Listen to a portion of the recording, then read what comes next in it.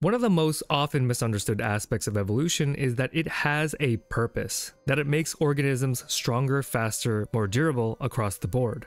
I blame Pokemon. The force of evolution and natural selection has no plan, it is only concerned with one thing survival. The pathogen I'll be telling you about today goes by the name Neisseria gonorrhoeae, and it takes this maxim to its limit, and it does so in devious ways. Members of the Neisseria family are colonizers of mucosal membranes. Gonorrhea in particular colonizes membranes of the genitalia, causing the disease known as gonorrhea. Going forward, I'm going to refer to this bacteria simply as gonorrhea because it's easier to say. Gonorrhea is an obligate human parasite. It generally does not survive outside of the human body and so this pathogen has become uniquely well adapted to fork your shirt up. When gonorrhea is pathogenic, meaning disease causing, those afflicted experience painful inflammation of their nether regions. If left untreated, complications from gonorrhea could leave one infertile and in serious pain. Mothers can unknowingly pass on this disease to their babies, putting babies at risk for developing infections, including a potential loss of eyesight. This is a particularly good time early in the video to remind everybody that as of writing this script, the prevalence of STIs are on the rise. Make sure to get tested if you are sexually active. Gonorrhea is treatable. Most resident microbes in the human body are presented with a quote-unquote evolutionary choice. Some microbes have been guided by the hand of evolution to coexist peacefully with host cells. Others, like gonorrhea, evolved to choose violence. And as a neutrophil, a proud member on the front lines of the immune system, it is my sworn duty to protect the body from this menace. I come from a long line of neutrophils that proudly gave their lives in the battle against gonorrhea. A long, long line. That's that's a really long line. Holy cow, am I gonna have to fight this thing? Maybe I'm getting a little ahead of myself. Let's review the order of battle starting from transmission. Gonorrhea is transmitted through sexual contact. Upon arrival to the genital epithelium, gonorrhea will use its pili to find and form attachments with the host cells. The pili then retract, bringing gonorrhea closer to the host cells. Gonorrhea's OPA proteins bind to the host KCAM proteins, triggering a molecular cascade that tricks the host cell into allowing the bacteria inside. Some of the gonorrhea will happily remain inside these cells. Others will exist on the other side and circulate within the body. Still others will leave and grab onto the other side of the epithelium, cluster and ooze out DNA to form a snotty, impenetrable armor known as a biofilm. But not to worry humans, the immune system is on the job. Amongst the first to respond are the circulating effector helper T cells that coordinate and recruit the big guns of the immune system, and hey, TH1, TH2, get back to work. What do you mean it's your day off? Who told you that? Don't want to say? Fine. Effector Helper T17, are you going to pick up the slack today? Yeah? You seem unusually gung ho about this situation. TH17 cells promote and recruit neutrophils to the site of infection. We neutrophils are capable of some pretty sick maneuvers, including the creation of potent antimicrobial peptides and deadly chemical agents, including superoxides, hydrogen peroxide, and bleach. Not only that, but we're also capable of capturing and digesting invaders. Pretty cool, right?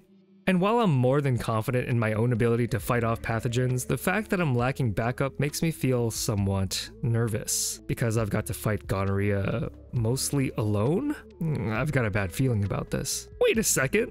Look at you! What a cute little guy. You can hurt a fly. Well, this'll be easy. Don't feel so good.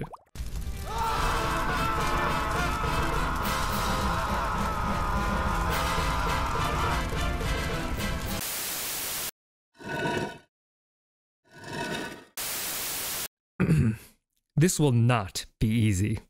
It turns out gonorrhea may be selectively isolating neutrophils by preventing other immune cells from showing up to sites of infection. Scientists aren't really sure how this happens, but it seems to rely on the OPA protein. Normally, gonorrhea infection reduces Th1-2 levels by about 20 to 40% in a mouse model, hindering recruitment of cells like macrophages to the site of infection. But with the OPA protein deleted, gonorrhea infection doesn't reduce the Th1-2 levels nearly as much, meaning the OPA proteins, the same proteins gonorrhea uses to invade the host epithelium, are somehow also responsible for crippling the immune response. Blocking the normal OPA protein with antibodies seems to mimic what happens when OPA is removed, providing some compelling evidence that this OPA protein is in fact jamming immune signaling, but leaving the call for neutrophils untouched.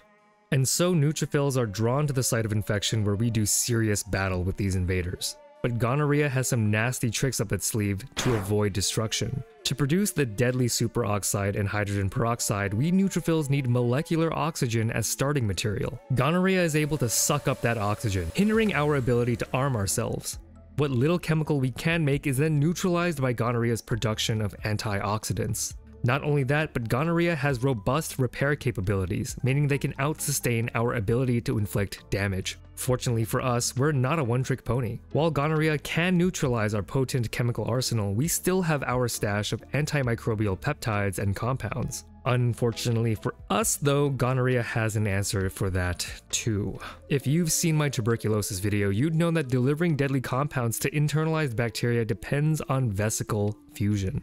Gonorrheal proteins can actually inhibit the fusion of vesicles, preventing us from firing on the invader, whether they are inside of us or out. But in biology, these battles are not often won one-sidedly. If we can get just a couple of deadly agents to this menace, surely we will triumph. We neutrophils make peptides called CAMPs, and they're pretty sick. Get a couple through to gonorrhea and these peptides will bust open their cell membrane. Gonorrhea might be strong, but we're stronger. And I'm sure that Phi 8234, may they rest in peace, would have shared your hopeful, naive sentiment. Because yes, gonorrhea has an answer for that too. Gonorrhea makes efflux pumps, membrane proteins whose job it is to kick stuff out of the cell. MTR-CDE pumps out drugs and antimicrobial peptides like CAMPs. Our last option is one that can be rightfully called nuclear. Nets are extracellular traps made from a sticky web of DNA and other antimicrobial compounds that immobilize and kill bacteria. Nets can either be ejected from the neutrophil as a ranged attack or as a self-sacrifice, trapping consumed bacteria within through a process called netosis. Gonorrhea actually encourages neutrophils to create these nets. They don't seem particularly bothered by them. And it has been shown that while reduced in potency, these nets can still kill other commensal bacterial species disrupting the balance of the genital microbiome. With our defense mechanisms neutralized, we neutrophils then go off, slowly dying, acting as unwitting mules, carrying gonorrhea through to other parts of the body, starting the whole cycle over again. If that wasn't humiliating enough, a good chunk of the reason why you feel so bad during a gonorrhea infection is our fault. Gonorrhea makes a membrane protein called LOS, which like OPA is needed to stick to host cells. Over evolutionary time, the immune system learned to up our battle readiness in response to anything making this protein, so when we detect it, we ramp up the inflammation. And rampant inflammation for you is misery and potentially dangerous. It really, really sucks. You might be wondering what the heck the adaptive immune system is doing. Part of why we neutrophils are mostly alone in this fight is that gonorrhea evolved a way to evade the adaptive immune system. We've already seen that gonorrhea inhibits Th2 cells, whose signaling is important for the production of antibodies. But gonorrhea has other ways to stop adaptive immunity too. Antibody production is dependent on the processing of bacterial surface proteins. But within each individual gonorrheal cell, genetic recombination of the LOS sequence is constantly changing its protein structure ever so slightly with enough frequency that it becomes quite difficult to consistently make antibodies against it. This is a process called antigenic variation, the all-important OPA protein undergoes phase variation, where occasionally some bacteria will just not make it anymore, hiding a crucial protein that the immune system could track. Without antibodies against these major membrane proteins, the adaptive immune system is neutered. It sounds bleak, and in many ways it really is. Gonorrhea is a master manipulator of the immune system, Luckily for us, scientists have developed potent anti-gonorrheal measures, including the use of antibiotics. But this demon spawn developed the aforementioned efflux pumps to neutralize many of our current antibiotics. We're down to cephalosporins, a class of nifty drugs that prevent bacteria from making their cell walls, making them easy pickings for us. But antibiotic resistance to this drug is lurking around a dark corner. So what can we do? At the time of me writing this script, a vaccine for gonorrhea doesn't exist. While there are some in clinical trials, there's no guarantee that they'll work. So until then, if you are active, make sure to use protection and get tested. Your body, your immune system, and more importantly, I, as a neutrophil, will thank you.